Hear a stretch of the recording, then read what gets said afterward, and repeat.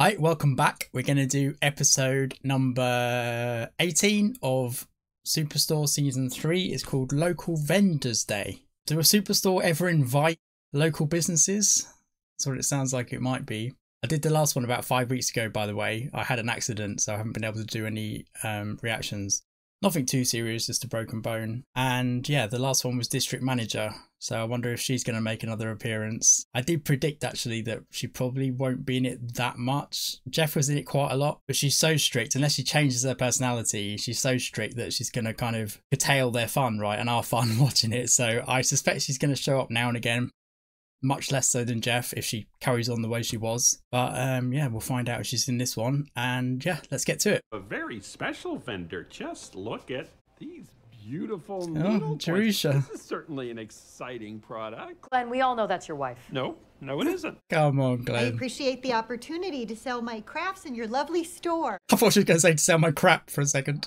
Beautiful stranger at our vendor fair. Come on. It's foreplay. Glenn, are you going to tell your wife that you're flirting with one of the vendors? Oh, I don't think so. Oh, so you guys have Carrot trolling it again. What's that? Means you're allowed to have sex with people who Oh, aren't don't tell him what that means. Are you cheating on Jerusha?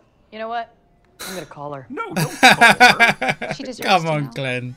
Don't answer You must know they're winding him up by now. don't answer that.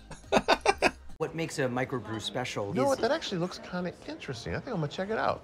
oh because of the uh, Oh. cute girl. No, because it's our artisanal. Oh, Disney. Ooh, he's back. Wow, things are going well with Beverage Guy. bet dating has changed so much since your time. How did you guys even Shia. send each other naked photos of yourselves? Uh, just in the mail. Oh my god, so much effort. I made something for you. Just as, you know, a little thank you for, you know, the gift that you're giving to Glenn and me. Does animals, doesn't he? For the personality. Or bird. Wow, intricate work. Yeah, it took me over 30 hours. Disturbing work. Don't know about intricate. No offense, but it just really freaks me out. And I do not want this in my home, or to be honest, on the planet. Been a lot of trial and error. Oh my now, if you don't God, get the really? consistency Boob just right, cheese. you get boob yogurt. That's just gross. Oh yeah, food cheese is fine. I mainly work with found milk. Found milk? Mm-hmm. You know, a mom leaves a bottle on a table at a food court, and But he you figure steals she's it. okay with people taking a little off the top. Uh-huh. Uh. A nice cozy scarf from Jerusha's booth. But I get Oh, over there bless her. fast, you know, before she sells out. Go ahead. But uh, let's go. Bless her though, she can't attract any customers. You know, huh, it tastes like Bud Light. Might take a little time for your palate to adjust. I bet it Oh, is. it might be I Bud bet it's Bud Light. I bet it is. One more scarf, you get a free other scarf. You're oh, okay. you can't even give it away. Jerusha's sales seem to be picking up a little bit, huh? Yeah. God, I am so proud of her. Sandra's gonna clean her out because she can't say no. Point comes easy to a lot of people, but not Jerusha. I think there's an inherent coercive power that you wield over the employees, even even if you're not conscious of it. Yeah, sure, sure, but uh, you know, I think if I was doing something subconsciously, he is conscious of it, come I'd on. know it. Right. Yeah. Yeah, I just, you know, I think uh, I think what I'm saying is just be careful how you use your power. Be careful how you use your power. Handsome?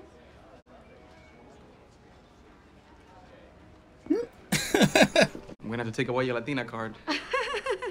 Yeah. Fake Latina card. now. Here you go. Take it. Mm, Amy's the Miranda one. Guys, I'm the Latina one. Uh, Sorta. they don't even recognize her What as do you Latino. mean? I am Latina. That's a fact. I mean, you don't even like spicy foods. Quick tip: just call him Poppy at the end of every sentence. You'll drive him wild. Okay, no, that's not a thing. It works. It really does. I've dated a lot of Latin men. A lot of I bet.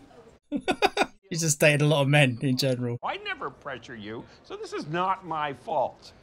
I felt pressured to buy cookies from your foster kids. And then someone in Tucson bought a Vespa with my credit card. You made me take care of the tropical fish that you raised, even though I can't afford the tank maintenance. I had to take out a loan. what? You know, I'll, I'll never pressure you again. Okay. Okay. With birds on them. What about a scarf with a squirrel on it? No. I mean, I guess technically I, I could, but no, I just don't feel comfortable with that. She finally got an order and she doesn't want to do it. ¿Qué pasa, amigo? ¿Cómo estás? Oh god, Hey, here we go. I want her to admit that I'm right. Mm-hmm. you know, it's about respect. This is more Right, important now than getting with sounds her. like caring. No, no, no, no, dude. I don't care. People aren't buying anything anymore. Earlier I was selling a lot, but now people are returning things. That that's weird. You're taking the pressure off, Glenn. Everyone's returning their shit. Can't help but kind of feel like a failure as a woman. You know, my lady parts are all dried up. I Can't do needle point up to the standards of these people. My hair won't hold a perm. When is it Jerusha's turn? Oh god. Is Glenn gonna surreptitiously buy it all? People love your scarves. What about my hat? Oh, on your hats too. Even more than your scarves. More? No, no, the, the, the same. It, it'll, it'll get better. Jesus, she's intense. I, I intense. promise. Tú y yo vamos, como familia. Un restaurante que te va a encantar. Yo entro ahí y la gente me conoce a mí. Me dicen, hey, ¿cómo estás? Yo digo, hey, how you doing? Así yo entro ahí. Oh, fantástico, sí, sí. really? Awesome. Didn't quite catch it. It's something about getting together with the family. Are you up for it? Alex, the beverage guy. Oh, the beverage guy. Cool. Cheyenne, look up the Spanish Is term it though, for Jonah? would you like to have sex in the butt? What? Why? Because that may be what you agreed to. ¿Quieres cogerme el ano? Something like that. You guys don't sell beer like this. Oh no, man, where are we not? Say that. It tastes like Bud Light. Well, it's not. I'd respect you for charging $13 for $2 worth of Bud Light. And I'd appreciate that respect if that's what I were doing. Okay, well. She's Okay, definitely doing well. that. Life is a highway.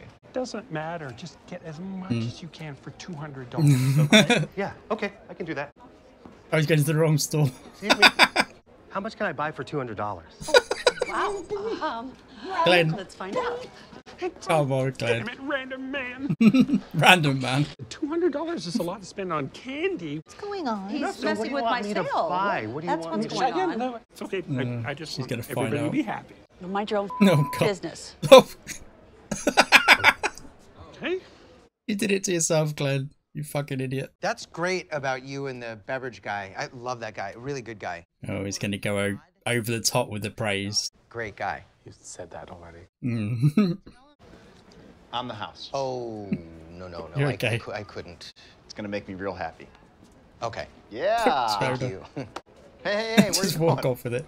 Pop it in. To the nearest Oh, trash can. What do you think? You wanted me to uh, eat it right now? I want to see the look in your eyes when that cheese hits your tongue. Yes, I will. I will do this. I will put this in in there. That's how it some works. random person's breast milk as well. Mmm. Really? That look. Mm-hmm. That is such a relief. Mmm. I haven't tried it yet. to be honest, it kind of grosses me out.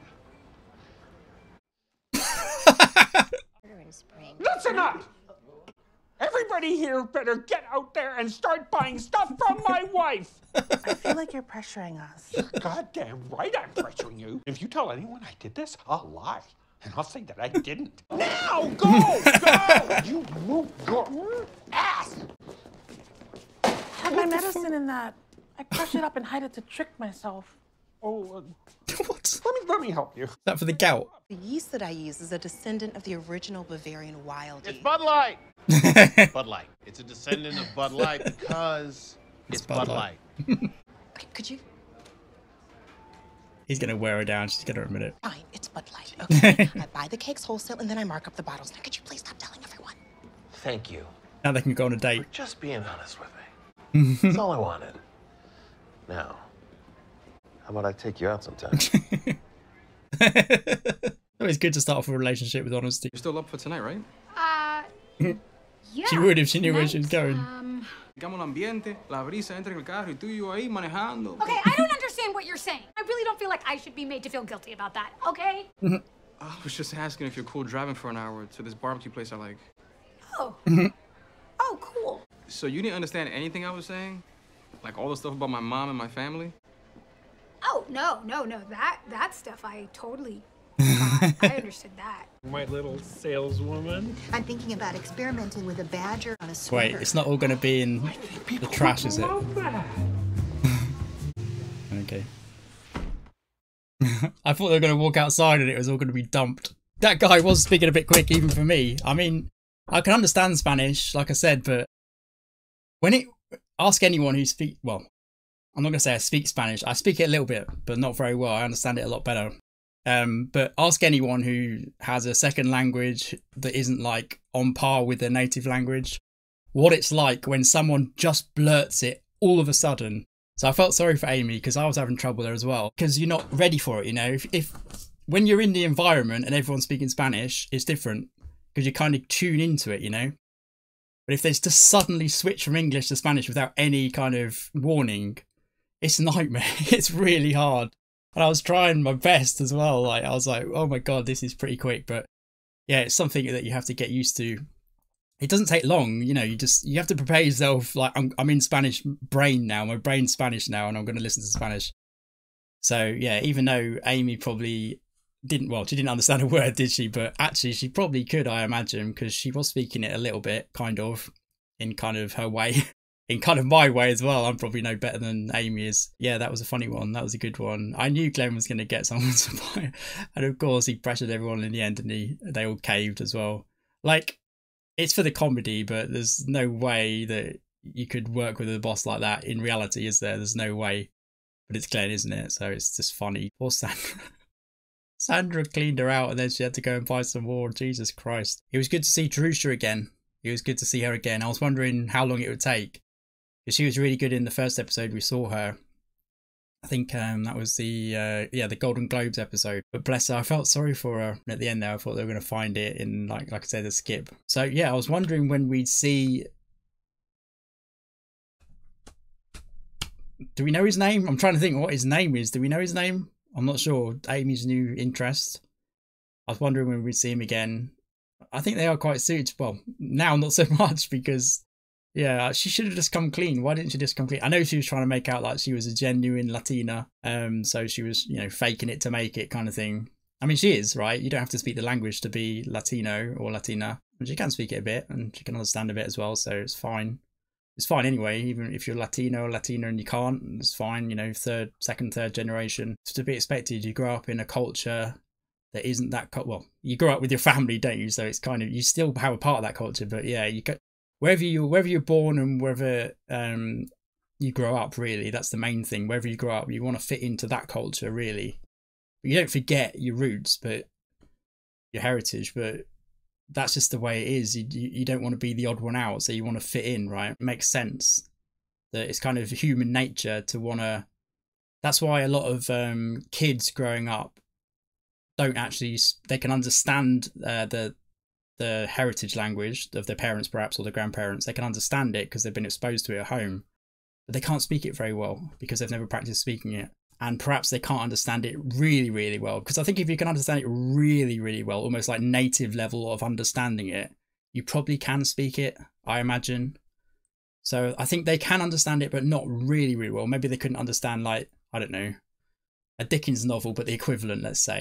So yeah, maybe I don't know. I'm just trying to think of something a bit more complicated than just everyday language, you know, that a native would be able to understand, but maybe someone who's like third, uh, second, third, fourth generation, whatever, couldn't quite. You know, I couldn't. I if you gave me Cervantes, for instance, there's just no way. Uh, Don Quixote, no way, absolutely no way. I'm going to understand that. Did Jonah set up a double date? Is that right with him and Kelly and um, Amy and the guy, the delivery guy, I've got to learn his name. Is it in this description? In the description, it says a guy flirts with Amy in Spanish. So even whoever wrote that couldn't remember his name, or you know, maybe haven't heard his name. I'm thinking he's probably got a maybe not. Was gonna, did he have a name badge? I know that's they have them in the store, don't? He wouldn't have had one. I don't think. I'm gonna have to learn his name though, because he's gonna be in it again. I think. Well, he definitely will if Amy's got to go to this family barbecue. Jesus Christ. Yeah, but that was good. I enjoyed it very good. Um, good one for me to come back to after however long it's been, five weeks probably now. I had an accident just for those who don't know, yeah, I'm going to do another one tonight though. But yeah, I've got um, an Avatar reaction to do first, The Last Airbender. I'm reacting to that if you're interested. And yeah, I'll do another one of these after that one. So hopefully you'll join me for episode number 19. See you then. See ya. Bye.